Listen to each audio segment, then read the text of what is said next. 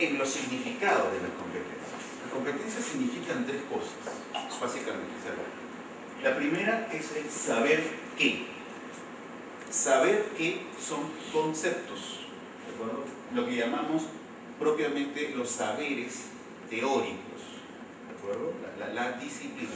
Cuando yo, por ejemplo, escucho a un estudiante de psicología, uno, de mis estudiantes de psicología social experimental, por ejemplo, presentando un, informe, un reporte, ¿no es cierto?, de toma de datos, un reporte de un, experimento, de un estudio que ha hecho en menos de tres minutos yo me doy cuenta si ese estudiante sabe problematizar o no. O sea, problematizar significa traducir un, problema de la realidad a la teoría psicológica, ¿no es cierto? A, los ámbitos de investigación psicológica. Eso es saber qué. ¿Sabe problematizar o no sabe? O sea, es la problematización que ha planteado en su investigación.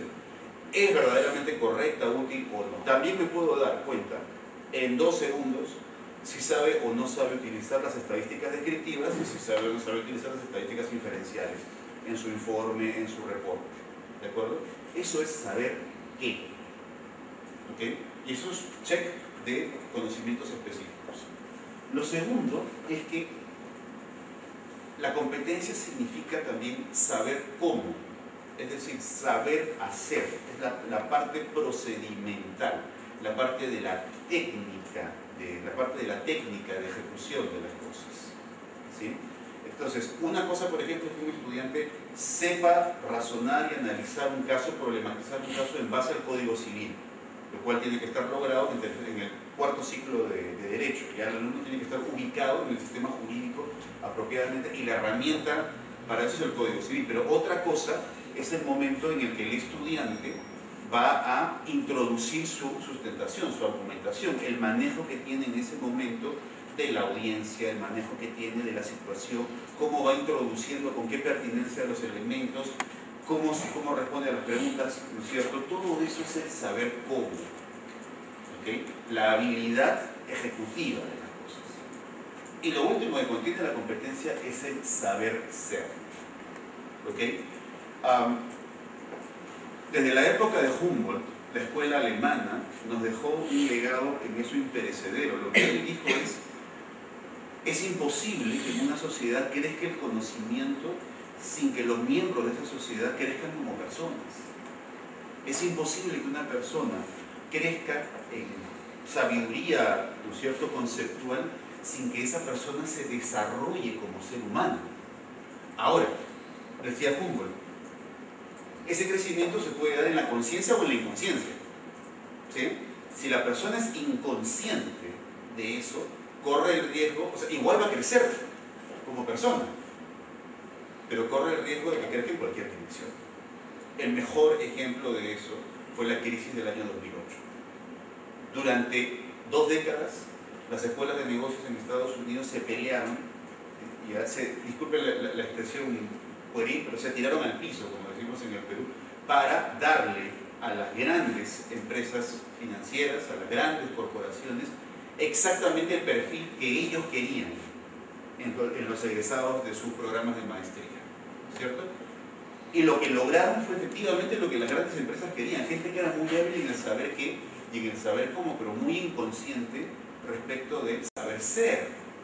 Y entonces esta gente fue creando, claro, lo que ellos querían, ideando y optimizando ¿no es cierto?, herramientas de, futuros, herramientas este, prospectivas, de perspectiva financiera, este, hasta que esas herramientas terminaron explotando en una sucesión de burbujas que fueron inejecutables y se vino la crisis que se vino en ese momento.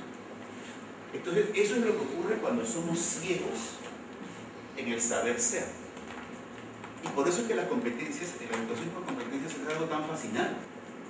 Es más natural confiar en la gente que desconfiar de, ella. Hace, años, por ejemplo, yo asesoré a una, a una empresa noruega y, y, ahí vi con claridad esa diferencia. Por ejemplo, el primer día teníamos nuestra primera reunión a las 9 de la mañana. La empresa quedaba en un lugar precioso, frente a un bosque, lagos hermosos, y era una empresa, un edificio súper tecnológico, muy bello, y tenía estacionamientos que medían, el estacionamiento tenía varios cientos de metros de un extremo a otro. Entonces, el primer día llegamos eh, cerca de 40 minutos antes, con, el ejecutivo que me acompañaba a mí, cerca de 40 minutos antes de la primera reunión. Y el estacionamiento estaba prácticamente vacío. Entonces, si el edificio estaba aquí al centro, ¿de acuerdo? Entonces yo dije, perfecto, aquí llegamos y estacionamos al lado, al lado del edificio. No. El noruego tomó el auto, giró y, manejó, manejó, manejó, manejó, hasta que se fue al final del estacionamiento, al fondo. Estábamos a dos cuadras del edificio, más o menos. Entonces yo, yo soy, donde fuera, ¿no es cierto? Yo calladito caminé las, las dos cuadras y ahí fui viendo los siguientes autos que llevaban que también se iban hasta el fondo. Están locos los locos. ¿Qué pasa? son los primeros que llegan y se van a lo, a lo más lejos. No, pues. ¿Qué sucede? Cuando tú llegas a trabajar, ¿no es cierto? Que todos ahí marcan, todos, desde el presidente marcaban horario de ingreso. Cuando tú llegas a trabajar, si estás llegando ya con la justa, ¿qué necesitas? Dos cosas. Poder estacionarte rápido y llegar rápido, ¿no es cierto?, al edificio a marcar. Pero si tú llegas y todos se han estacionado alrededor del edificio, ¿no es cierto? Entonces para encontrar un lugar en medio de, la mancha de autos, ahí ya perdiste tiempo. Y segundo, te va a tocar a dos cuadras de, distancia. Claro, y ahí me di cuenta del siguiente nivel, el nivel del principio. El principio para ellos es que es más lógico confiar en la gente que desconfiar de ella. ¿Sí? Yo conozco otra definición de, de la diferencia entre principio y valor. creo que vale la pena compartir. Eh, eh, los principios son valores, pero los valores no siempre son principios. Sí, sí. ¿Por qué? Porque los principios son valores eh, de acepción universal. Es decir, cuando yo digo honestidad, honestidad de aquí, en la China y en todo el mundo. al decir esa palabra, todo el mundo lo interpreta de la misma forma. Y los valores no siempre son de acepción universal. Por decir, eh, la poligamia del árabes, un valor para ellos. O la raza ariana para los nazistas, también era un valor. Ya, correcto. Pero no es un principio. No, no es un principio, claro. Esa es la... Sí, sí, que es, un, que es un contraste que va a la diferencia entre ética y moral también. Exactamente. Eh, podríamos, claro, en algún momento justamente sintetizar ambas cosas porque yo hablé de principio como unas nociones más básicas que se convierten ya en software mental, en supuestos compartidos generales. Pero sí. La ética, por ejemplo, es el cumplimiento de una regla. Si cumplir con una regla establecida, eso es ético. Pero la regla puede no ser principio, puede ser apenas un valor. Por ejemplo, determinar los judíos. Sí. Eh, está todo como muy relacionado. Es importante además conocer que no son las mismas cosas porque nosotros usamos ambas palabras como si fuesen. Correcto. Por eso te pregunté que sí. Muy bien. Ok, pero creo que estamos ahí en, un entorno más claro. Muy bien, ok. Entonces, ahora sí. Técnicamente, la definición de una competencia tiene que tener cuatro elementos.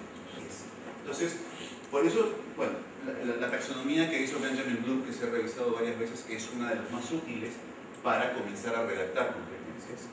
Y se utilizan verbos en tercera persona presente indicativo. ¿Por qué? Porque la competencia describe lo que el alumno será capaz de hacer cuando sea el presente del final de, cuando, cuando, se, cuando se llega al final del proceso de formación. Una vez que yo